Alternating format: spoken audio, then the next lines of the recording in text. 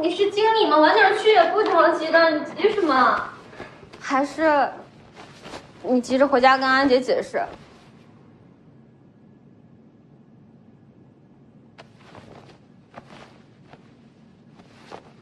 一鸣哥，我觉得你也不用太着急，可能安安姐已经知道了。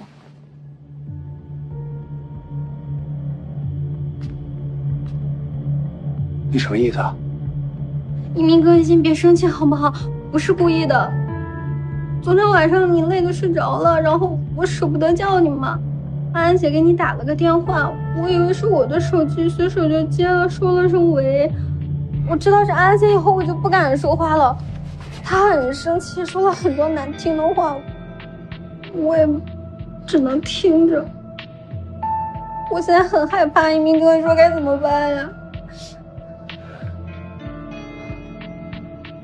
这样，我来想办法跟他解释。啊，我先走了。你还会回来的，对吗？你会一直想我的，对吗？小月，我现在必须得回去。你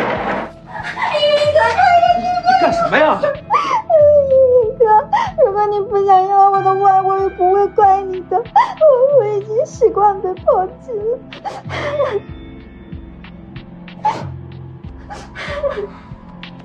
没事啊，小雨，我保证，我一定会让你开心，让你满意的。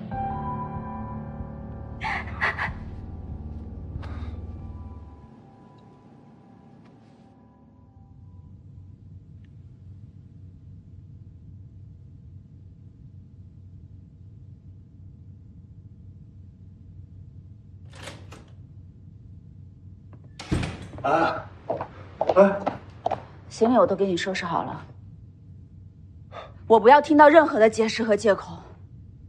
啊，再给我一次机会行吗？你等我出差回来，我一切都能解决好的，我发誓。发誓？你还敢跟我说发誓？啊，我只是一时糊涂，我爱你的，我爱这个家的。啊！我真的只是一时糊涂，啊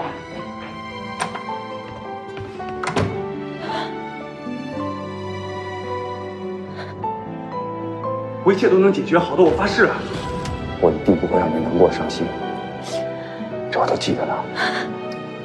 我发誓，我很爱他，并且我会在未来像现在一样爱他。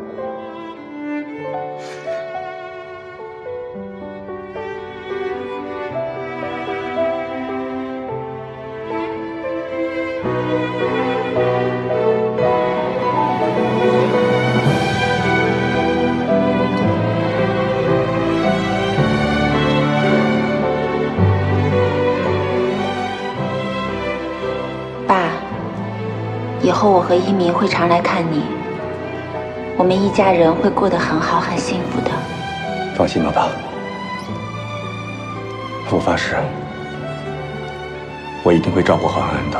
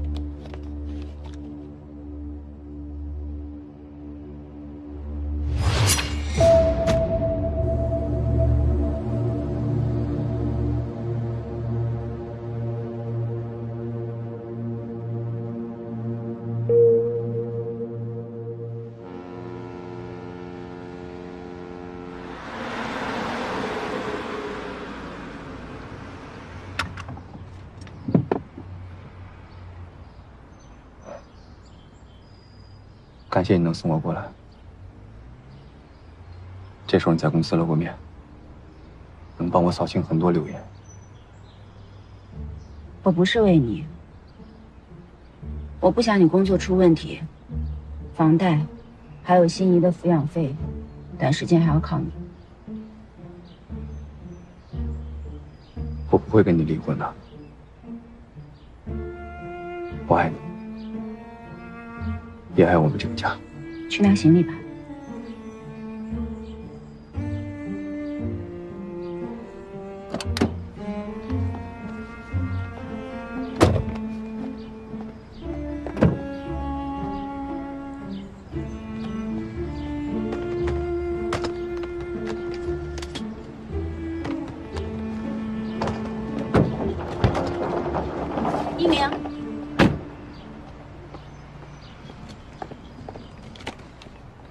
谢谢啊。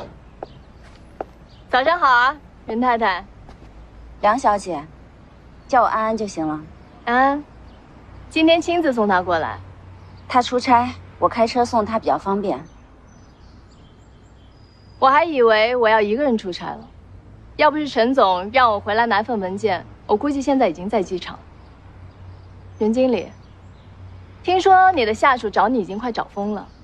如果你经常这样，那下次你可要小心。再有下回，我可就直接替你签了。你先去忙吧，一会儿机场见。出完差我直接回家。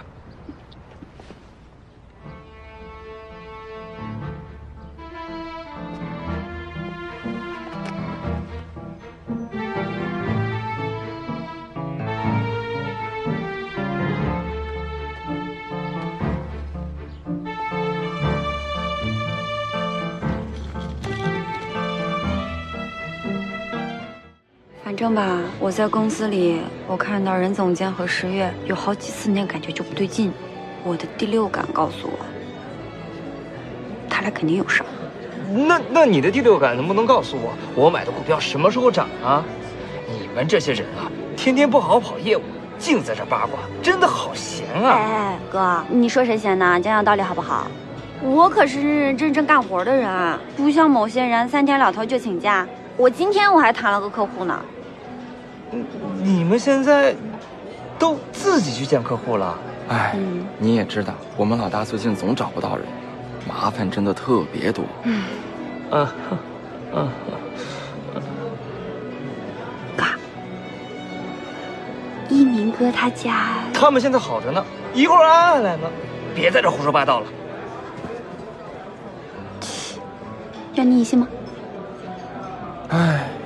哎，这安安姐一心照顾家里人，要是一鸣哥真的背叛了她，那可太过分了。大麦姐，啊，这种场合，你好歹应该打扮一下。你怎么穿的这么朴素？哎呦，哪有你命好啊！我今天去见客户了，我这劳碌命，不像有些人哦，那是靠着别人上位的，三天两头都可以请假的。我得靠我自己啊！哎呀，大麦姐，你这儿长了好多细纹呢。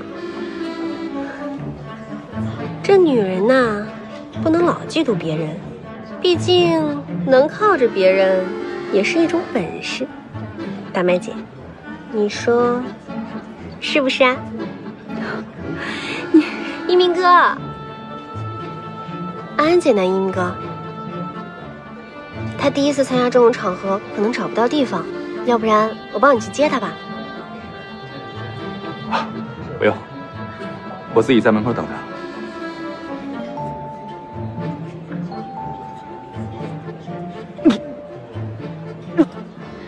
你咋了？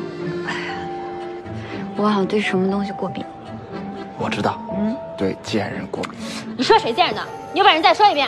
行了行了，有陈总来了，别让他看见了。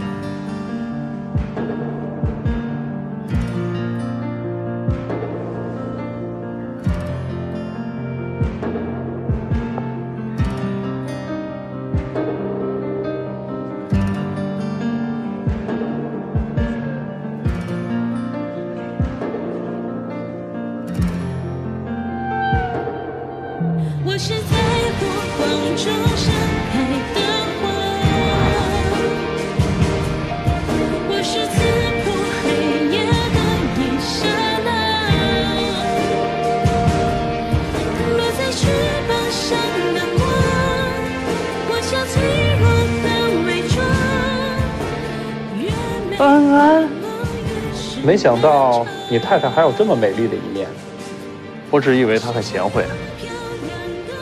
一鸣，你真幸福。她打扮一下还是很漂亮的。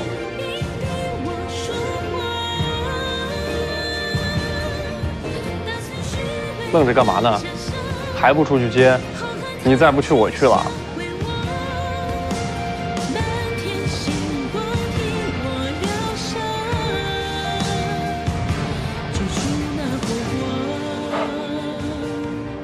这事儿很适合你。晚上几点结束？明天早上我还有很多事情，不能待太晚。不会太晚。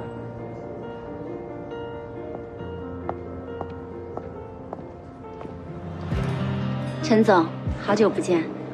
我都快认不出来了。你这一身真有品味。谢谢。对呀，变化太大了，简直惊艳全场。大家看看，是不是比咱们公司模特还要漂亮？安姐，你今天简直美炸了！那以后我们还有没有机会吃你包的饺子啦？当然啦，你们要想吃，可以去我家里啊。好啊，我早就想吃了，我很早之前吃过一回，那味道，绝了！真的这么好吃啊？我一定得尝尝。我在网上分享了一些食谱，如果大家有兴趣的话，可以去看看。